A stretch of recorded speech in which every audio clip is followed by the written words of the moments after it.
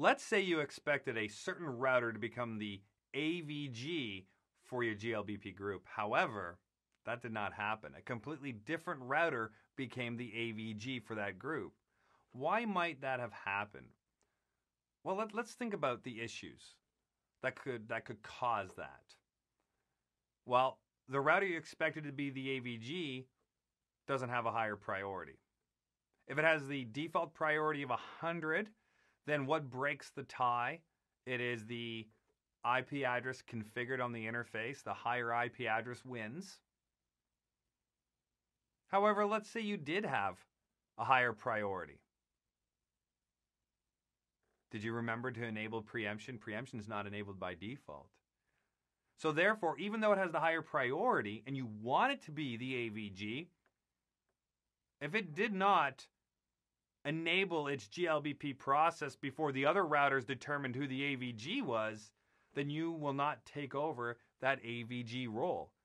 You will be in standby state. You're going to have to wait, even though you have the higher priority. So preemption must be enabled, and you must have the higher priority in order to control that AVG. Who do you want to be the AVG?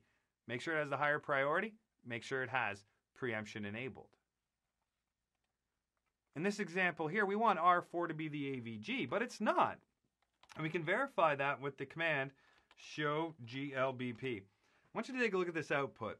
It's broken into two sections. We have the top section, which is based on the AVG. And then we have the bottom section, which is based on the forwarders, the active virtual forwarders, the AVFs. So it's this top section I'm concerned about right now for the, the AVG. We can see that we are standby when we want to be active. Why are we standby right now? Well, we can verify here that preemption is disabled we can verify that we have the higher priority. It's configured as 150. And the standby device, or pardon me, the current active device has a priority of 100. So it's supposed to be the standby device because it has a lower priority. 150 is higher than 100, but the problem is, is that preemption is disabled. So we want to make sure that we enable preemption. Configure terminal, interface, gigabit ethernet, 0 slash 0, standby, not standby, GLBP, group number 43, preempt. As soon as we enable preemption here, we'll see. Based on the fact that we have a higher priority of 150, we will take over that AVG role. We will become the active AVG. So active and standby here has nothing to do with being the active forwarder or the standby forwarder. No, it's about being the AVG. That's what this is about right here. So if we look at the output of do show GLBP again, we'll see in this output now that since preemption is enabled, we are now the active device because our priority is 150, whereas the standby device has a priority of 100.